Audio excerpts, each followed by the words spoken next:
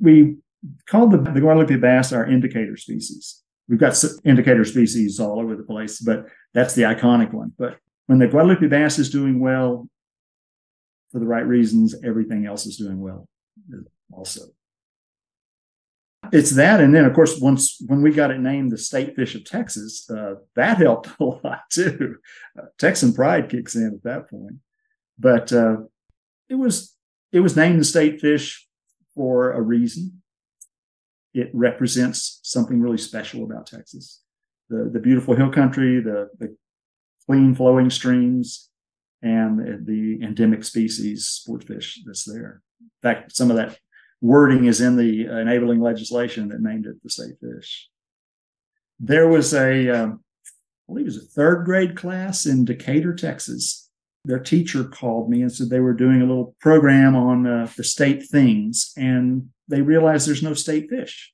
So uh, somehow she got my name and asked, and she'd done a little research, and she said, uh, I think the Pecos pupfish. She said, wouldn't that make a great state fish? And I said, nope, it wouldn't. I love it, but uh, I just don't think that we get that through the Texas legislature.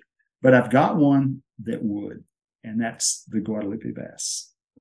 So uh, I worked with those kids. We got T-shirts made, we got buttons made.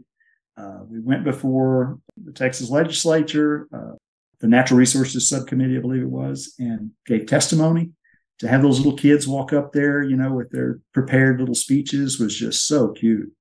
Uh, then I got up as the expert witness, and uh, and this is no lie. I, I couldn't believe it. I so gave the whole spiel about why it was special and and why it would make sense for it to be the, the state fish.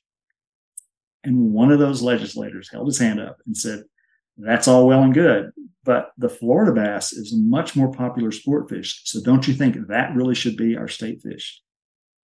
The other legislators turned and looked and said, the Florida bass is our state fish. That doesn't make any sense, dude.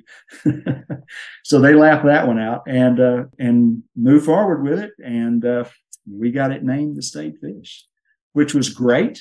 Uh, it kind of uh, you know put a spotlight on it.